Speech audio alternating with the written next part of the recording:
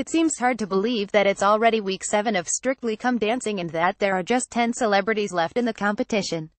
After last week saw Debbie McGee topping the leaderboard and Simon Rimmer being shown the door, now things are starting to get serious.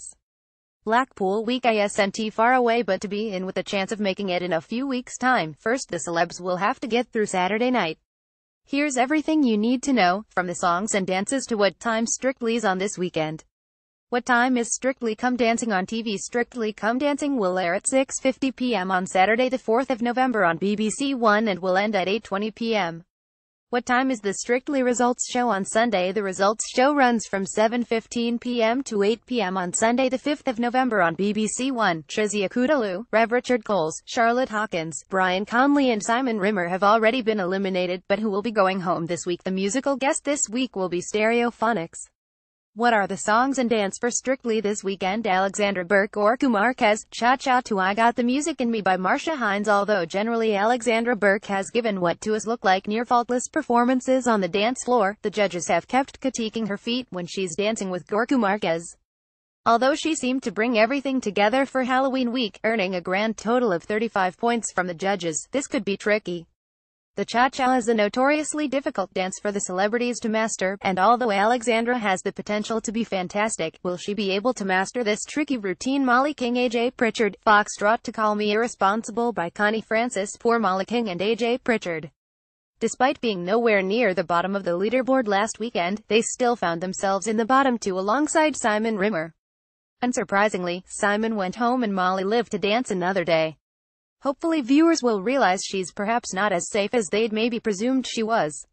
Either way, if she's to be in with a real chance of staying out of the danger zone she's going to have to improve her scores Jonnie Peacock Oti Mabuse, Salsa Did Turn Me On by Kevin Lyttle Jonnie Peacock and Oti Mabuse had something of a bum night on Halloween week.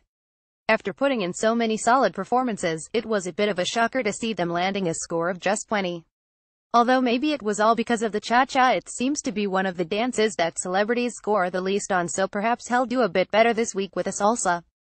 Ruth Langsford Anton Du Beke, Paso Doble to the Shady Dame from Seville by Julie Andrews We've had some incredible Paso Dobles throughout this series of Strictly so far, from Aston Merrygold scoring 38 to Gemma Atkinson and Joe McFadden both landing 35s for their turns with the cape. Will Ruth Langsford and Anton Du Beke be able to replicate such incredible scores? Erm, we think perhaps not. But one thing's for sure, Anton waving about a big cape will never not be entertaining. Joe McFadden Katya Jones, Charleston to Alexander's Ragtime Band by Ella Fitzgerald Hollyoaks' Joe McFadden and Katya Jones have been gradually getting better and better each week. They scored a solid row of 8 as last week for their Foxtrot while Joe became the second celebrity of the series behind Alexandra Burke to score 10. Charleston's usually manage to score well with both the judges and the viewers at home, and we're in no doubt that Joe will do something completely amazing. We're going to say it, we're predicting more tens. Debbie McGee Giovanni Pernice, Tango to I Got a Feeling by Black Eyed Peas Debbie McGee and Giovanni Pernice topped the leaderboard last week again with their fun-loving, high-energy Charleston. If before we were refusing to believe that Debbie was 58, now we were convinced she must have added 10 onto her age. She got a total score of 39 from the judges, matching Alexandra Burke's Tina Turner-inspired jive. Now the race is on to land that elusive perfect 40. Gemma Atkinson Aljaž Škorjanec, Salsa to Sun comes up by Rudimental Feet. James Arthur Gemma Atkinson and Aljaž Škorjanec are another strictly couple who have got better and better as the weeks have gone on. Although their drive last week wasn't their best performance, we still think Gemma is something of a dark horse with plenty more to give in her routines.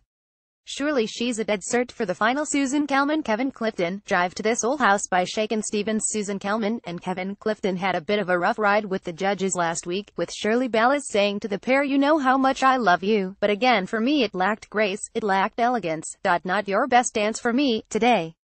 That prompted Kevin to pipe up with I love you too, Shirley, but for the Halloween Game of Thrones Foxtrot Grace wasn't really what we were going for, which thankfully caused Shirley to laugh and the audience to applaud. Luckily the whole thing was more Anton Du Beke and less Brendan Cole.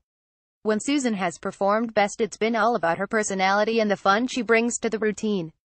That's a good sign this week after all, who does and have fun with a jive Ghadami Nadiya Bychkova, American Smooth to this will be an everlasting love by Natalie Cole Ghadami and Nadiya Bychkova seemed like early favorites but have struggled in recent weeks with lower marking and tricky routines. Craig only gave the pair a measly 5 for their rumba last week, but the American Smooth is generally a higher scoring dance that is easier for the male professionals than the dreaded rumba. We still hope that Davood has a secret dancer trapped within him that's just bursting to get out. Aston Merrygold Janette Manrara, Viennese Waltz to Who's Loving You by Jackson 5 Way way back in the day, Aston Merrygold was on Stars in Their Eyes Kids singing as Michael Jackson. And now, instead of showing off his vocals, this Saturday he will be dancing a Viennese Waltz to this Jackson 5 number. Seems rather fitting, really. Anyway, there are a few celebrities who could easily be the first to score that perfect 40, but with Janette Manrara's choreography always having so much praise heaped on it by the judges, will they be the first to do it this weekend? Strictly Come Dancing airs Saturday the 4th of November on BBC One.